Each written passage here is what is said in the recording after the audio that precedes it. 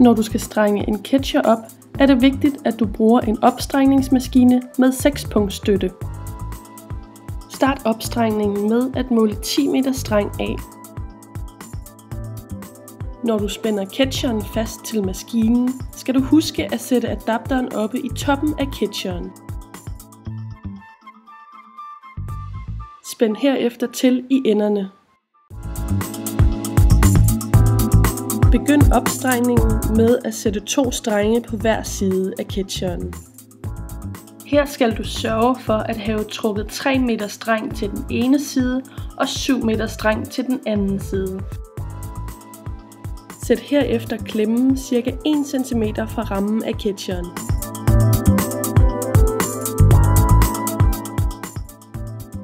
Spænd herefter hver enkelt streng.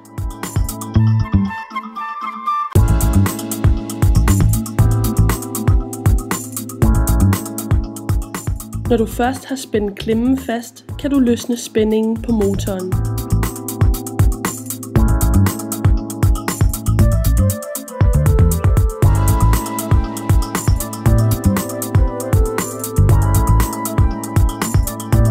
Opstreng først 6 strenge på den ene side med 7 meter streng.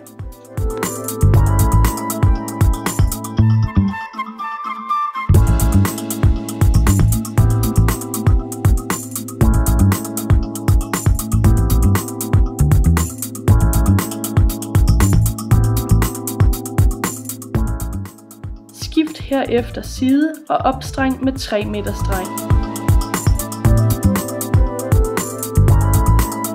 Når man strænger længdestrengene op, skal man springe hul nummer 11 over.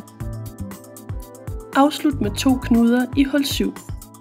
Knuden laves ved at tage tværstrengen ned på den ene side og op på den anden side af længdestrengen, og så ind igennem lykken.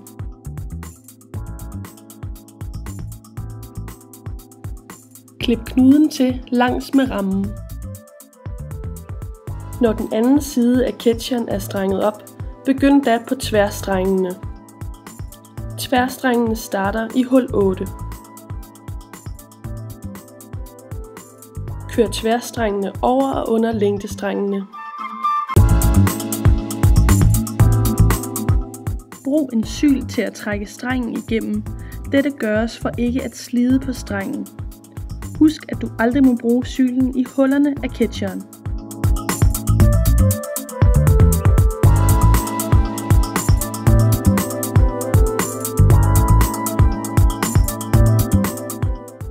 Herefter fortsætter du med en enkelt streng af gangen hele vejen op til toppen af catcheren.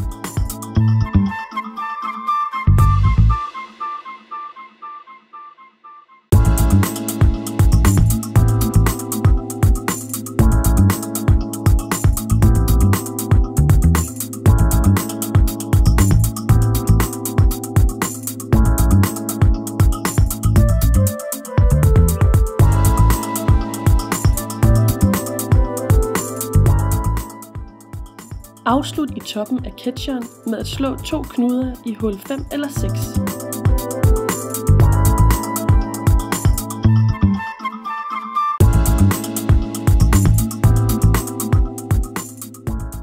Denne catcher er en 76 hullers catcher, men princippet er det samme ved alle catchere, undtagen i 96 hullers catcheren, hvor længdestrengene slutter i toppen.